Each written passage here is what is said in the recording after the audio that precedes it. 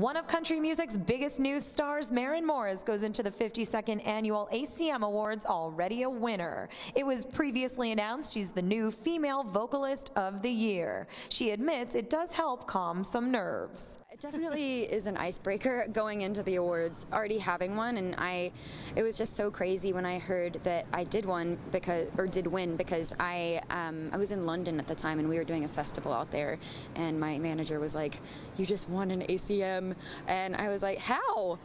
It's so early, but um, it was so cool. And then I was so proud of my friends, Brothers Osborne and Jon Pardi for winning their first ACMs too. Shows like this showcase how wide the range of country music is now, even within collaborations like she's doing with Thomas Rhett.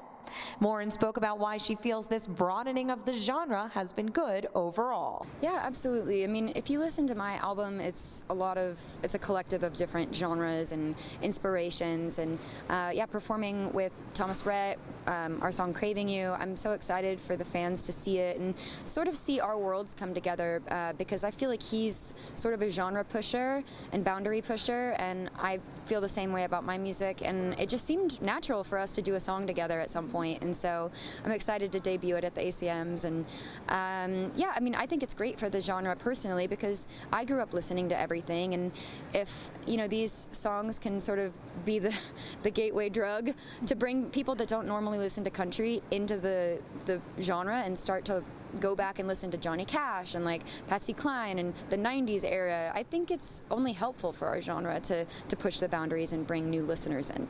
From here, she goes on to wrap up her headlining tour and then this fall takes it international. Morris says she's learned a lot from this run. Well, I learned what my fans really looked like for the first time. I'd never seen all of them in one space. I've always been opening up on different tours, so this was my own show, own production, and it was so cool to see everyone's face faces and have that really intimate club moment where you can hear them singing back to you and see each and every one of them. And it just taught me how to be a boss, a CEO, um, a good boss, and uh, just connect with my fans on a deeper level and kind of give back to them because they, they put me here.